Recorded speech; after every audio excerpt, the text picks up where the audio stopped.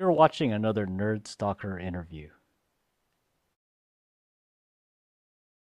Good morning. Welcome to another Nerd Stalker interview. This is Greg Lauria, aka Social Greg, on Twitter for the Nerd Stalker Media Network. Uh, we're continuing our Kickstarter Unbox series here, and uh, a segment where we're highlighting existing and uh, you know post Kickstarter entrepreneurs and discuss some of their stories. Uh, today, I'm pleased to follow up and talk with uh, David Hunt of SPOR Chargers. Uh, I talked with his partner Jason Brown, who may join us a little later, by the way, um, and they're live from Philadelphia. So uh, uh, here on Google Plus Hangouts. So we caught up with Jason last week before they closed their campaign, as I mentioned earlier, and they were about at 82% uh, with five days to go. So we pushed the interview out and.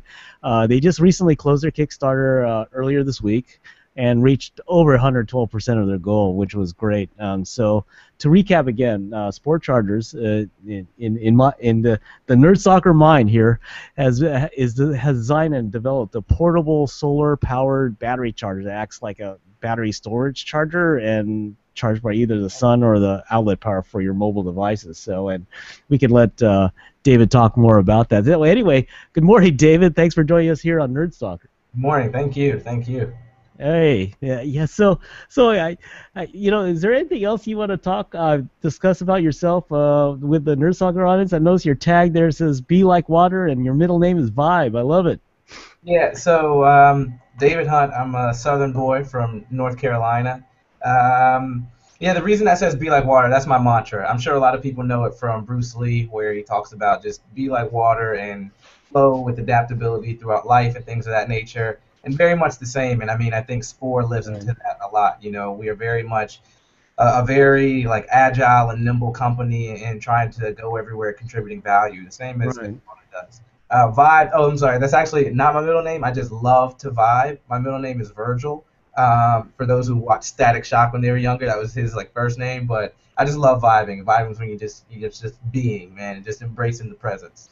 No, I I I, I think uh, that's probably what. Uh, you know, Jason talked about this last time that when you guys entered the competition at Drexel. So, so you know, uh, if you want to recap this, everyone, that uh, both David and Jason are from Drexel University, a really, uh, you know, I feel famous uh, university on the East Coast. Um, I, I knew a lot of Drexel from engineering stuff since I was in engineering, but uh, they're business majors, and that this is the kind of the beauty of it all. Actually, they're business majors, and they they put something together by assembling a team of people. So anyway, uh, that's good. Uh, well, let's get into this. Let's talk about you know, let, us talk about what you specifically learned about your product and any adjustments you made from the Kickstarter campaign. Where to start? I mean, you learn so much from Kickstarter um, and and I'll go I'll go general stuff first and then product stuff second. So general okay. stuff, like manage the comments and manage the interactions with people and the messages.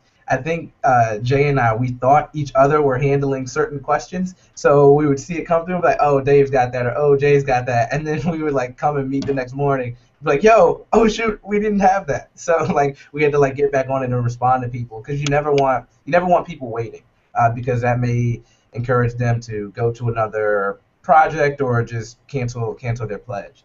Hey, uh, David, yeah, I got a question for you. How, how many comments were you guys getting per day? Man, I don't know. Like, if I had to average it out, it was a it was probably about 50 to 60 comments per day. What? On inboxes. Um, the comments were a little lighter. So comments we probably averaged about 12. But what the backers don't see on the public side is we get messages and messages like, hey, promote on this side. Hey, give us fifty dollars and we'll promote you on our side. Or hey, I'd love to tweet you out. Or hey, you guys are awesome. Or you know, and just constant back and forth on, on, on that. So there were people actually uh, like pitching you, hey, I could help your campaign, or you know, I could help you a little bit more. Yeah, definitely. So it's and they actually people even trying to steal the product too. It was kind of crazy. So what? Yeah, I'll, I'll tell you about that. So um, the people who would like it was small little companies um, that would not small little companies but companies that would come in and they're just trying to get their feet on the ground and they would say hey like we'll push you out through social media but like give us 280 bucks or, or give us 50 bucks and we'll tap you into all of our networks. Um, and then on the the steel side like i had um, which is weird a person from it was an obscure, not obscure, but a place in, in China where they said, hey, can you send me all the details on your product? We want to promote it. And the language was a little weird and it, it felt a little weird because all of our specs were, were right there on the on the front page and it, it didn't seem like uh, it didn't seem very convincing with um, their media publications and where they pushed it out through. Oh, you know, you know, let's talk about China real quick because I, I actually go on to Kickstarter to look for interesting campaigns as well, and um, you know, you guys had contacted me directly, but but um, I, I looked at this one really interesting campaign, uh, you know, not similar to your product, but you know, something like it, and uh, it, you know, they put a shell in front of it where they had two guys in New York, they were saying, and then finally when I contacted them through email, just like just like what you were just talking about there. Um, a guy contacted me from China and huh. said, "Oh, you know, um, that that yeah, you know, those guys in New York aren't with us anymore. We reconsolidated in China." So it felt really totally weird, man. Yeah. Like like what you were saying. That's crazy. So so going into it, and this isn't indicative of China. This is indicative of multiple places around the world. But going into it, they said that we would most likely get messages from people who were trying to take the product because they say in different countries throughout the world they scour Kickstarter and crowdfunding sites to figure out what's the latest and greatest product so they can go ahead and produce it faster and get it out to the market. So that that happens with I mean multiple countries around the world and people scouring. Wow. It's just a risk you take, you know. Oh well, yeah, because it's all out there in a way, right? I mean, obviously they don't have the intellectual property of how it's exactly made, but the concept is there, right? Right. Wow. So anyway, yeah. So you talked about the experience a little bit. Anything else about the experience you wanted to share with the audience? Yeah. Um, on the product side, it's it's really just important that you know your product in and out. You know, side to side, back to front. And then I know that sounds intuitive, but people are going to question you on the implications of the future of the technology, the implications of what is it now? Are you going to build it out into a, a, larger ecosystem? What's after Kickstarter? What are your specifics on getting this into the hands of the people? And you really got to know the ins and outs of your products and also your production and distribution plan. Um, a few other notes just on the Kickstarter. Um, plan your content well ahead of time you know, one of the challenges that we faced was we would we would be planning on a Saturday or Sunday for for the week when we should have planned our content at least like a base level of information well before we launched the campaign. So it's good to get your your networks in place, whether they be through social media, and actually build genuine relationships with with bloggers and media networks and things of that nature, um, and actually plan the content. What are your updates going to be, and when are they coming out? What do you need to tell people? And plan that stuff out well ahead of time. Also, no, yeah, go ahead, go ahead, go ahead. No, go ahead. Also, like really hone in on your target market. So the first two weeks, we were pushing out messaging to get us covered in tech blogs and tech news and, and things of that nature, and we completely missed out on the ecological, eco consciousness type of blogs and media. And then when we finally started pushing messages into them, they were re- very receptive as well. so it just kind of showed that we need to understand that this product has uh, a diverse array of implications and value propositions for different markets, and we really needed to hone in on that. Well, you know, you guys did a really good. I'm I'm looking for your video here, but uh, uh, you maybe you could play it on your end. But I, you know, I thought the video was really really good. I, I actually embedded it on the site. Um, if you guys go back to our uh, previous uh, interview of, uh, of his partner Jason, I actually embedded that video, and I thought it was a really good video. I mean, yeah. I, yeah, yeah. How did you guys? That was really good, actually. I, I thought it was like engaging. I mean, it was actually kind of funny, actually, in a way. So. Thanks, thank you so much. I mean, we love the video, but the kudos and the credit go to this group that's actually out of Drexel who um, launched a video company as their senior like exit project and oh, okay. yeah, they're, they're called Five Five Collective, and they do great work. They do great work. So we got connected with them, ended up shooting the video across, I think, about two days. And oh wait, I have the video right here actually. It ended up shooting the video out across two days, um, and they just, I mean, brought out the the steady cam. Yeah, Lily. Let, let, me share. Let me share this. You could talk over it. Actually, I, I, I think this is pretty cool. Actually, so let me let me play this video for you guys because I think it's pretty neat. Actually. Introducing A product so revolutionary, so powerful. It's unlike anything you've ever seen. Cut, cut, cut, cut. Look, this is SPOR. SPOR's a USB battery charger that passively recharges itself from the sun. It's portable electricity. We took four simple components, put them together in one solid product, so you never have to go without power for your mobile devices ever again. This is our way of putting the power of the sun in your pocket. We're trying to make energy more accessible, more affordable, and spread power across the world. Here's how. Inside each SPOR is a 5200 milliamp hour lithium ion battery. That's huge. That's like three and a half full iPhone charges. On top of that, we have a 0.5 watt monocrystalline solar panel that'll keep your battery charged. So you can charge it by the sun or by indoor lighting. And at one amp, it might not be as quick as a wall outlet, but you can hook them up in parallel with other units, creating a larger system. We call it daisy chaining.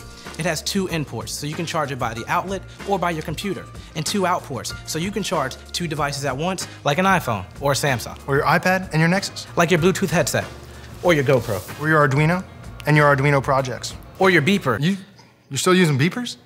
What? Bro, I'm bringing beepers back. And for all you makers out there, we designed SPOR Shell to be 3D printable, which is simple, customizable, and you can make out of almost any material that you want. Design it yourself. Why not? And why not make it simple? So we're gonna be upfront and honest about the components we put inside your product. Because products should be open and understandable. We intend to carry this throughout our entire product ecosystem. An ecosystem of SPORs, solar panels, and cables that all work together seamlessly.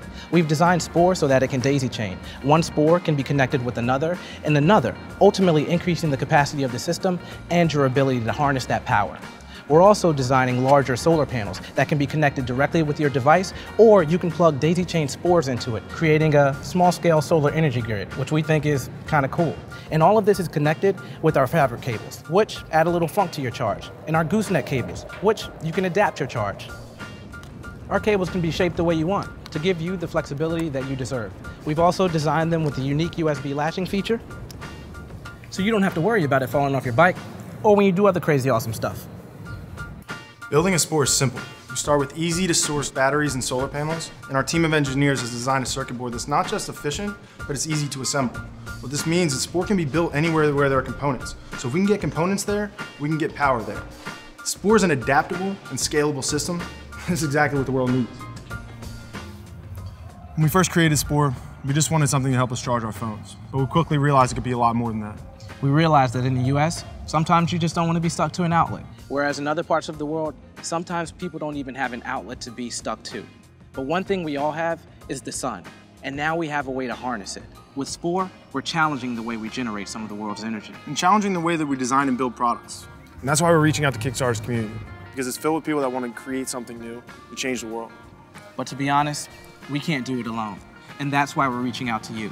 Because we need your help to back our project and support our vision of making clean energy a little more accessible and a little more portable and a little more affordable for everyone.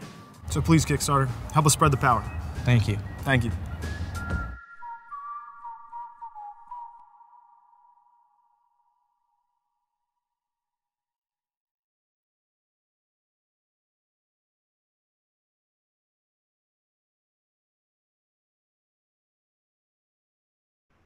That was cool. So anyway, yeah. So yeah, let's go back to you know you're talking about the product a little bit earlier. I, I just had to get into that video because I really liked the video, but uh, you know um, you, you know you talked to some Chinese people, um, but you know you you really kind of now you're you're in the post phase, right? You're you're Right. you're, you're funded. Um, and uh, you know how long is it going to take to for you to get product out to people? So we're looking the earliest to get it uh, to everyone December, right? Uh, January is kind of the, the plan we had lined up, um, but right now it's really about uh, the production plan is actually getting out to Shenzhen, uh, solidifying all of the component manufacturers, and then shipping those out and having the products assembled. Uh, so that's really been the high priority on our plate uh, recently is getting our, our trip in uh, Shenzhen or Jason's trip in Shenzhen uh, actually mapped out. We have a lot of contacts down there that are pretty solid and that we've been working with. So I mean that's the exciting time, and you know um, I'm just excited. Look, it's nothing like having a physical product in your hand and, and to see what it can do. And Jason aligns with that. I align with that. So we are hustling our gluteus maximus off to like get this to people you know, because they want it. They've shown that they want it. People in Israel, people in Australia and China and Vietnam, they want SPOR. And we are trying to bring that to them right now. We are bringing that to them right now. So as far as the production is lined up, people can expect December. People can expect December. Um, uh, I'm thinking with, with any leeway, it might it might be January, you know. But I, you don't want to overpromise anything.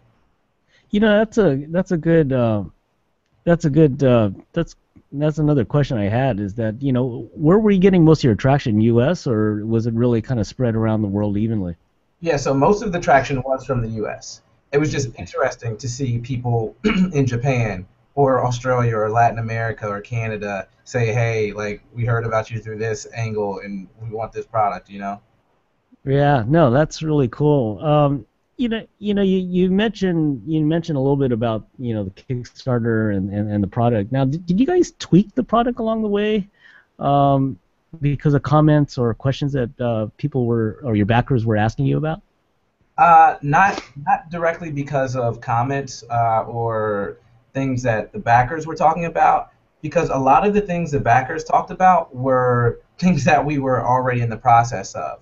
So when we filmed the video, we noted that it wouldn't charge like as quick as a wall outlet. It was about one amp, but like our circuit ba- circuit board refabrication bumped that up to two amps, so it's closer wow. to the wall outlet. You know, and that happened during the Kickstarter process. Um, a, a, few things on like the shell design to make it a little like sleeker and uh, so and, and more durable for people and then that would that actually came out of the comments. You know, people were like, "Hey, what happens if I drop this? What happens if I keep it out in the sun too long?" We're like, you know what? Like, we got to beef the body up a little bit and things of that nature. So there there were some comments that we had that we were already trying to live into, and then there were a few that we had that we were like, you know what? Like, great idea. Thank you for that. You know, one interesting comment that Jason made last week when I was interviewing him was um, that it actually could be localized, which means that um, you know, with the invent of 3D printing and everything else, you could actually um, build this locally in, in in your market that you want to serve, right? Yeah, no, definitely. So I think that's the beautiful part about it. You know, we brand giving power to the people the best way to do that is to actually give them the power to assemble it and distribute it there. So if you think about like how the assembly that Jason was talking about, all you need to do is have the components shipped to you, right? The shell, the circuit board, the battery, um, the solar panel, and, and ship those to wherever people need it. So if it's here in Philadelphia, we'll take it to our warehouse and we'll put those components together and hire mm. local labor to actually put those together and assemble them and distribute them if it's in sub-Saharan Africa or Latin America or or Asia, ship those components, enable other people to put those together. Now you're fostering economic well-being there. Now you're fostering people who can actually have a job there and actually do something, assembling this product and getting it out to people. You know, and that and that cuts out a lot of a lot of the fat associated with just having some product that was manufactured here and shipped here, just treating all your customers as the same people. No, no, ship them the components that they want and let them assemble that and then get that power out to people the way that they deem is proper. That's a great concept. I mean, I, I man, that that that is great. I, I think I think you, you hit it right, the nail on the head. Is just that, you know, the problem, the is, issue with sustainability isn't bringing cheap products into uh, third world nations. It's actually having third world nations assemble and manufacture something so they can sustain themselves, right? Yeah, exactly, exactly. You know, so many people want to deliver products to the third world because they see an opportunity there. But you're right. It's it's not about that. It's about like getting something valuable there, but valuable that can like sustain itself as well. And now you're allowing people to be a part of that process as opposed to just the result of a process. You know, one thing I did get into with Jason last time, uh, and I wanted to ask you, you guys had actually won uh, a, com- a couple competitions or a competition at Drexel, right? Mm-hmm, mm-hmm. So we have an institute here called the Baiada Institute for Entrepreneurship, and they host business plan competitions and uh, business like incubator competitions. Now the the institute has an incubator, and that's what we went into, which was basically a, a pretty long process of uh, build out a business plan, and then come pitch your business in front of judges and a larger audience within Philadelphia. And we ended up taking first prize for that, which landed us $10,000 in incubator space for a year. So we've been working out of that. I mean, it's been great. It's, it's awesome to be surrounded by other entrepreneurs, whether they be software or hardware or even like in environmentalism, you know, things of that nature. And that was that was great. Uh, yeah, winning that was great. So this was lo- this incubator was located on campus or in Philadelphia somewhere. Yeah, so um, Drexel just put up a new business building, um, the Gerri C. LeBow Hall, and the incubator is located literally in there. And all the other classes are. I'm in this building right now, so our classes are in here. So literally, it was like we would come in and go to class, but then go upstairs to our office, and then go back downstairs, go upstairs to our office. The biggest issue is like Jay and I are. I would people consider us a little like eccentric. So like the first time like it was up, like we would fall asleep in there and stuff like that, and someone came through and was like, "Hey, you guys can't sleep in here," and we were kind of like, "Oh, we work here, so like I'm pretty sure you can sleep in your office." But uh, it was just, it was just kind of funny and just a little like funny note at that time. No, you know, you know, it's funny. I, I, I see the same thing here in co-working spaces. I mean, people are often, you know, like a lot of the developers on the IT side, software side, you know, they're trying to get through a problem and they just fall asleep at their keyboard, you know, and then you know they finally wake up and they get a cup of coffee and they're ready to go again, you know. So, I think I think what you describe is exactly what a what, what a startup goes through, man. Wow. Well, anyway, I, I you know, is there you know, oh, another question I had is, can they still get, can people still get a hold of the product even though you're not on Kickstarter? Yeah, so what we plan to do in the, in about a month or so is uh, launch an e-commerce site, which will basically be uh, about pre-sales, right? So it'll we'll continue to stack, um, throwing in the gooseneck cables and the SPORs that people can continue to buy into right now, which we'll have them so we can have them for the uh, production launch uh, when we get it, when we get the Kickstarter backers their product. Wow, that's good because uh, you know, you know, I, I, I remember from Jason's interview, I and I was interested in it. I, I just got lazy over the weekend, and so on Monday I tried to get in. I said, ah, oh, it's closed five hours ago. Oh man, so I was really excited about trying to get one actually. I'll have to talk about that offline or something like that. But anyway, uh, so anyway, uh, uh, you know, uh, why don't you tell everyone how to, you know, get some information about uh, your product and, um, you know, go to your webpage and, you know, contact information. Yeah, so um, if anyone wants any information, it's sporchargers.com, which is S-P-O-R, no E, so sporchargers.com. You can email us. I mean, I'll just put my email out there, david at sporchargers.com. Uh, the website has plenty of information. If you want to keep track of us on social media, Facebook, we're always posting. You can find out specs about the product, what we're trying to do in terms of making clean energy more accessible and affordable for the world. We're always on Twitter. Um, and we just try to keep it fun, you know. So even if you want to just have a conversation and, and call us up and chat, like we're, we're down. We're down to talk about energy. We're down to talk about how game changers are changing the world. If you want to talk about Elon Musk, we'll talk about Elon Musk. You know, things of that nature. Um, but but anything anything all for humanity and all for for the promotion of the greater good, we're we're down with communicating about. Um, so yeah, I mean. Wow, we're gonna we're gonna have to do this more often, David. This is pretty fun, man. Absolutely.